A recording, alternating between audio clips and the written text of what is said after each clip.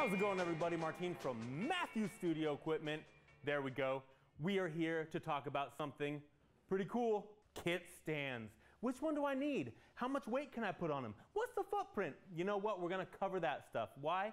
Because we understand that it can be confusing. When you're flipping through a catalog or scrolling online, it's hard to see how they compare to one another. So we're going to go over four of our more popular kit stands so that you have a better understanding of what kit stand is going to get the job done.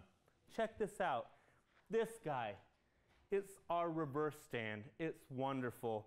And check out that footprint. It's wide. It's going to be able to get behind furniture if you're going to want to get yourself a backlight.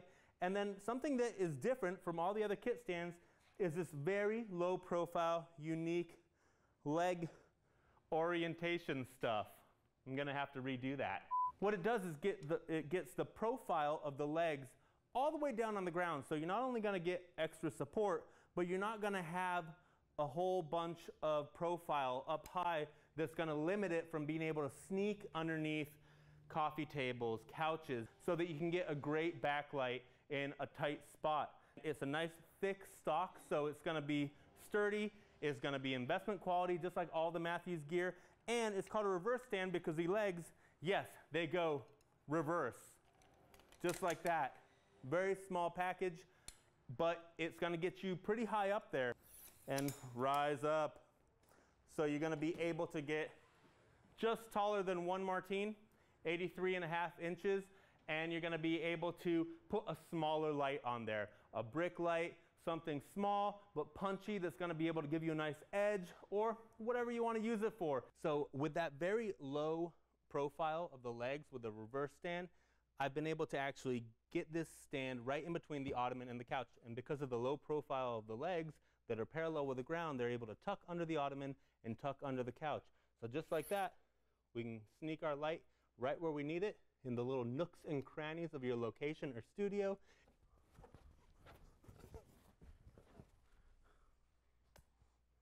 It's around an 11 pound payload, which isn't a ton, but enough to support smaller lights that are out there now, which are surprisingly powerful.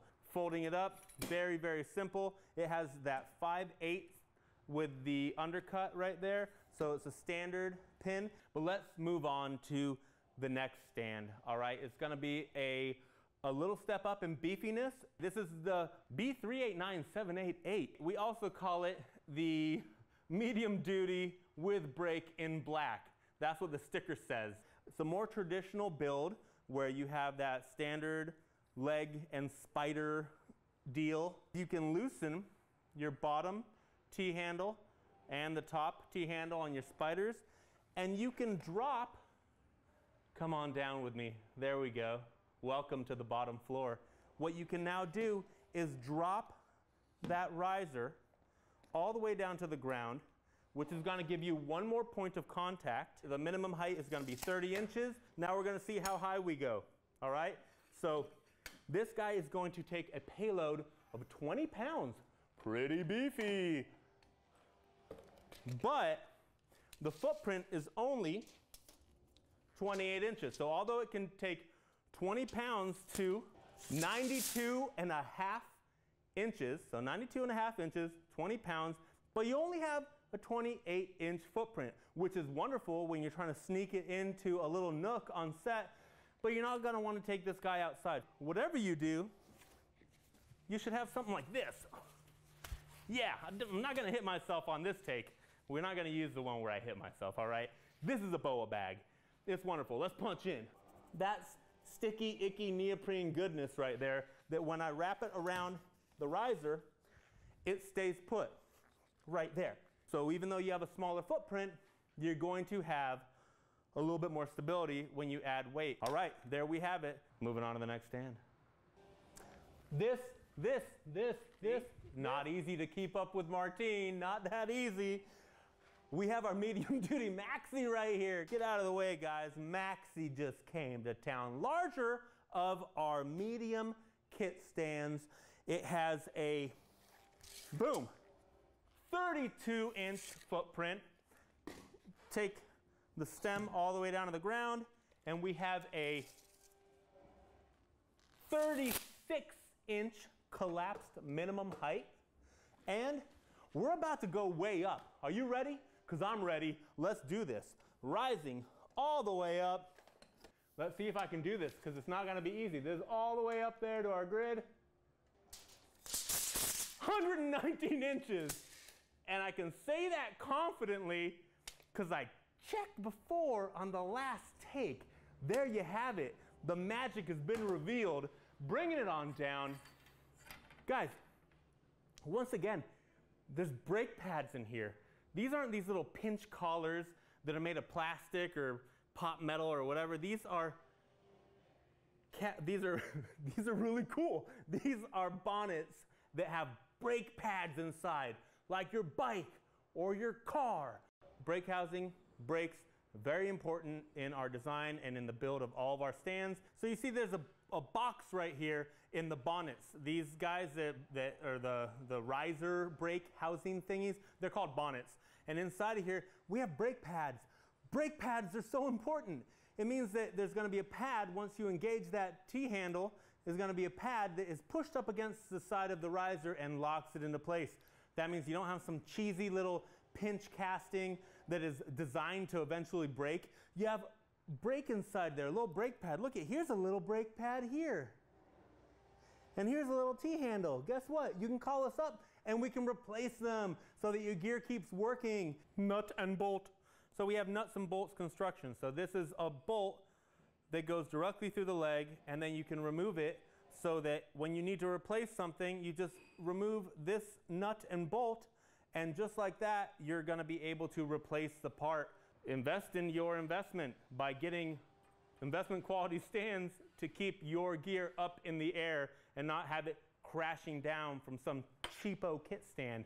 Don't make me mad about this, all right? Just get the right stuff, guys. So there you have it. This is our medium duty maxi. It has a footprint that is gonna allow you to use it indoors as well as outdoors in a tame environment. If it's like blowing and gusting and yeah, you're gonna want some bigger gear. But if you're shooting outside, nice level ground, birds are chirping, it's gonna be able to do it. Welcome to my office. Pay no attention to my boss's business cards. If you grip hard, you too can have a beautiful office just like this one, where I have managed to sneak a backlight into the back corner here with my medium duty kit stand. It's a smaller footprint, I have a smaller light on there, and it tucks away very nicely into the corner. We're indoors, so that's gonna be a perfect use for this stand. My key light is actually a larger light that has a modifier on the front of it. So it gives it a little bit of an offset load. That's why you want that extra footprint that the Maxi stand will give you. That medium Maxi stand is gonna give you a little bit more footprint. I got my BOA bag wrapped around the base and I feel very secure with my Maxi holding my key and my medium duty kit stand holding my backlight. And there you have it. Simple lighting with some very, very useful stands. Business. I'm talking business here. Buy, buy, buy. Sell, sell, sell. Put me on the red eye to China. I'll have the lobster. Fax yourself to Indonesia. Do it now. All right, moving on to the next stand. Woo! The final of the four kit stands that we are comparing, it is our light heavy duty kit stand. It is the biggest, the beefiest of the four in this awesome comparison video. Um, and it is built to support your larger lighting units. It's still a 25 pound capacity, but it has a wider footprint than the medium maxi that we just talked about. 42 inch folded collapsed height, which means when we open it up, it's also going to be, when it's dropped all the way to the ground, yep, 42 and a half inches, so 42 and a half inches, collapsed and as your minimum height. And now I'm gonna drop all the way down. And that gives us 149 and a half inches. That's right. So we're around 42 and a half inches minimum height, 149 and a half inches max height. There you have it. It is wonderful for heavier units. It has a larger footprint, indoor, outdoor use. These are thick, beefy braces, man. They're thick, they're beefy, nuts and bolts construction. We're making them to fill the set with glorious light.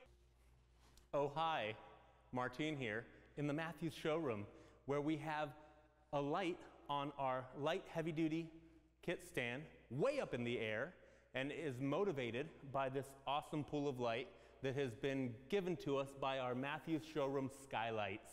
So we're able to very securely, with bags on our base, support this around 15 pound lighting unit to be able to give me some light so I'm not just standing in a dark shadow in front of a beautiful pool of skylight. Here's the center of it, and then I'll go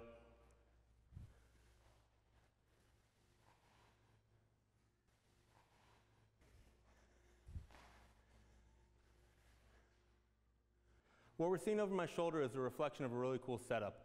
The light heavy duty kit stand has a footprint so that you can use a two and a half inch grip head and a grip arm to be able to offset a load, like this 50 centimeter CRLS reflector that is bouncing that skylight and giving me all of this amazingness right here. So here we have the four kit stands packed into the back of my vehicle. We have the reverse stand, the medium stand, the medium maxi, and the lightweight heavy duty stand. This is how big they are when they are collapsed. This is how they look when they are next to one another so you can get an idea of the size of these stands. Ah, I got you for a second, huh? You thought I was a kit stand. No, it's just me, Martine, thanking you for tuning in. Let's hear it for the kit stands. Good job, little guy, medium guys, bigger guy, light, heavy guy. No stand is better than another. They all serve their own purpose, and that's what this comparison is all about. We want you to know which stand is going to be best for your kit, for your productions, for your creative endeavors. So invest in quality gear that has features that is going to keep your gear working for you. It's important to know what separates the best from the rest. It's all about knowing what your gear can do for you. Thank you for tuning in and take care of each other. Matthews Studio, doing spins, doing punches, doing kicks. We love you.